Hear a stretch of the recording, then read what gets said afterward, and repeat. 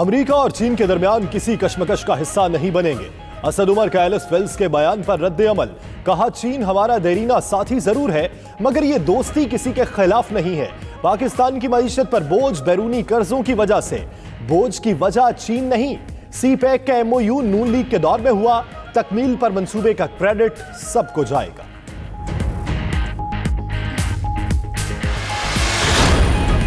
پاکستان میں چینی سفیر یاو جینگ کا قرارہ جواب۔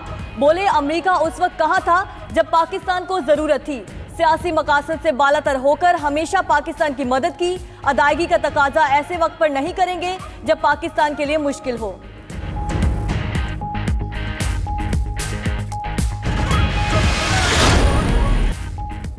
نواز شریف کی لندن میں یونیورسٹی کالج اسپتال ویسٹ مورلینڈ سٹریٹ آمد۔ ڈاکٹر لارنس نے نواز شریف کا معائنہ کیا۔ شہباز شریف کی قوم سے نواز شریف کی صحت یابی کے لیے دعا کی اپیل۔ کہا، اگلے ہفتے میاں صاحب کا پی ای ٹی سکین ہوگا۔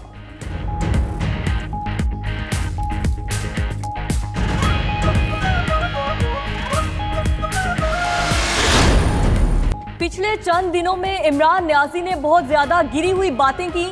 شہباز شریف کہتے ہیں، انہیں ایسی باتیں کرنا زیب نہیں دیتا۔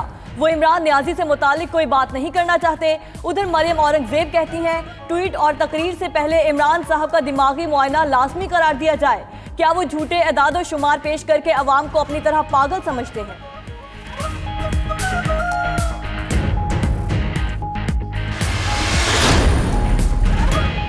الیکشن کمیشن ممبران کے بعد چیف الیکشن کمشنر کی تعیناتی بھی لٹکنے کا خدشہ۔ معاملے پر بھی وزیر اعظم اور اپوزیشن لیڈر میں دوریاں برقرار۔ چیف الیکشن کمشنر سردار رضا 6 دسمبر کو ریٹائر ہوں گے۔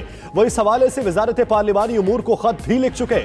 لیکن نئی تعیناتی کے لیے حکومت اور اپوزیشن میں مشاورت کا آغاز نہ ہو سکا۔ وزیر اعظم نے تاحال اپوزیشن لیڈر کو خط بھی نہیں لکھا۔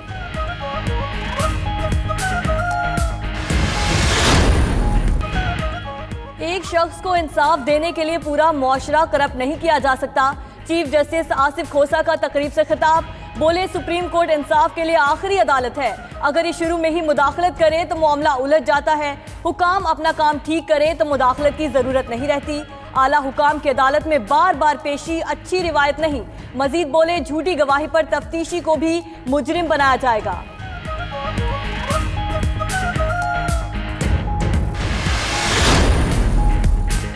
بیوروکریسی میں گریڈ بائیس میں ترقیاں۔ انفارمیشن گروپ کی Zahida Parveen audit and accounts کے شاہد قریشی، اکرام خان اور فاروق حامدی کو گریڈ بائیس مل گیا۔ پولیس کے محمد طاہر، مشتاق مہر، شعیب دستگیر، فیصل شاہکار، کلیم امام، ثناء اللہ عباسی کی بھی ترقی۔ ایڈمنسٹریٹو گروپ کے وحید الدین، اللہ بخش، پرویز عباس، فضیل اصغر، جاوید اکبر، بابر حیات افضل لطیف، انعام اللہ کے نام شامل۔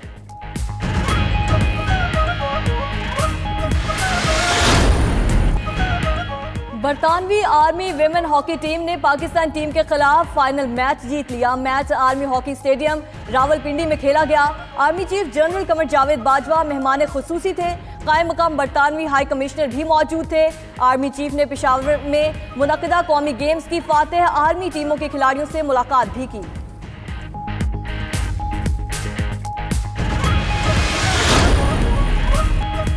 نائنٹی ٹو نیوز کی خبر پر ایکشن اولمپئن اصلاح الدین کا سندھ حکومت کی جانب سے دی گئی رقم واپس کرنے کا اعلان۔ دو کروڑ روپے کی گرانٹ سود سمیت واپس کریں گے۔ رقم دو ہزار چودہ میں محکمہ کھیل سے ہاکی اکیڈمی کے لیے لی گئی تھی۔ اصلاح الدین کا کہنا ہے، رقم استعمال نہیں کی، وہ دکانوں سے آنے والی رقم سے اخراجات چلاتے رہے۔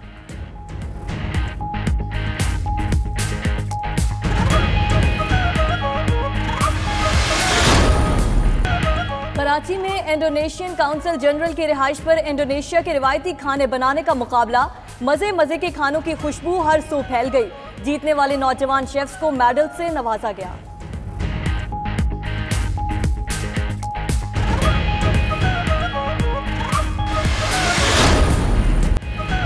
بالا گنڈ کی الماس خانم کو مجسمہ سازی کے فن میں کمال مہارت۔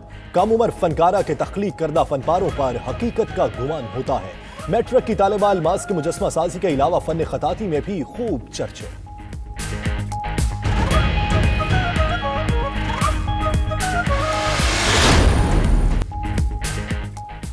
اور محبت، خوشبو، رنگوں اور لطیف جذبات کو لفظوں کا پیرہن دینے والی شاعرہ پروین شاکر کا آج سٹھ سٹھواں جنم دن منایا جائے گا۔ منفرد لہجہ اور شگفتہ انداز بیاں پروین شاکر آج بھی دیگر شعراء سے ممتاز کرتا ہے۔ کیونکہ یہ ہو نہیں سکتا کہ انویسٹیگیٹنگ آفیسر کو پتہ نہ ہو کہ یہ جھوٹا گواہ ہے۔ کوئی بھی واقعہ ہو جائے، کہتے ہیں کہ جی یہ وہ دکانداروں کے سامنے ہوا تھا، بازار نے سب نے دیکھا تھا، لیکن جی گواہ نہیں بنتے۔ تو دیکھیں اب ملزم کو تو کسی سزا دلوانی ہے۔ تو وہ اس کا چچا جو ستر کلومیٹر دور رہتا ہے، وہ اتفاق سے وہاں سے گزر رہا تھا اور جو اس نے واقعہ دیکھ لیا۔ ایسے جھوٹ جبکہ تفتیشی افسر کو پتہ ہے کہ جھوٹ ہے، تو یہ تفتیشی افسر کی ذمہ واری ہے۔ کیونکہ اگر انصاف کرنا ہے تو پھر قانون کے مطابق اور عدل کے جو بھی معیار ہیں، مذہب میں بھی اور قوانین میں بھی، ان کے بغیر انصاف نہیں ہو سکتا۔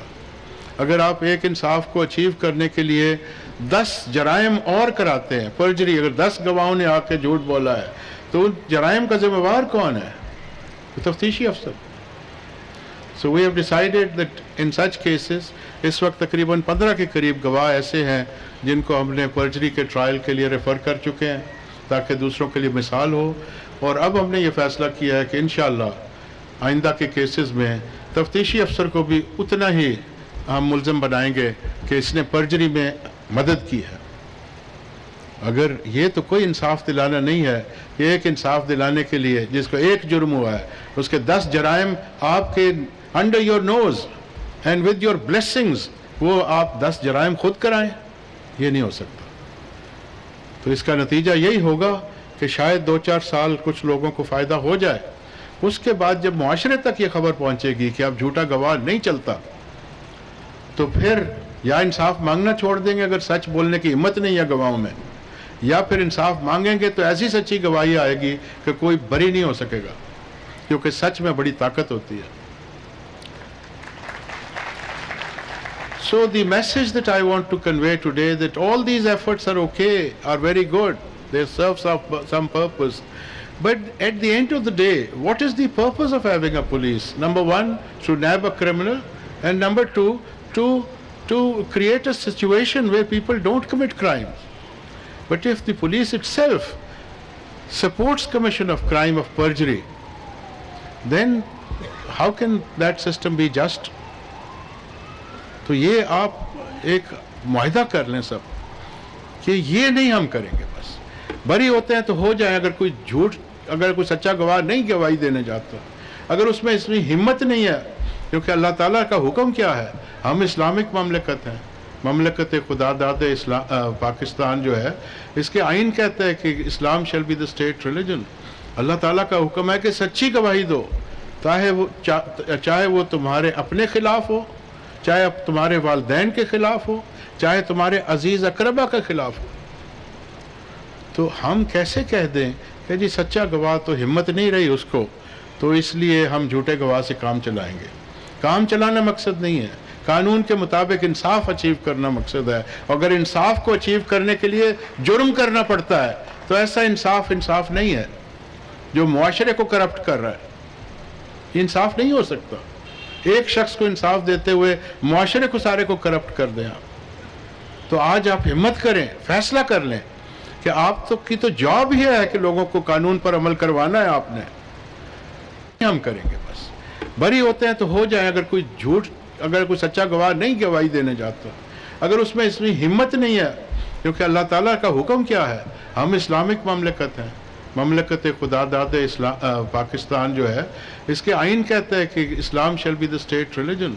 اللہ تعالیٰ کا حکم ہے کہ سچی گواہی دو، چاہے وہ چاہے وہ تمہارے اپنے خلاف ہو، چاہے تمہارے والدین کے خلاف ہو، چاہے تمہارے عزیز اقربہ کے خلاف ہو۔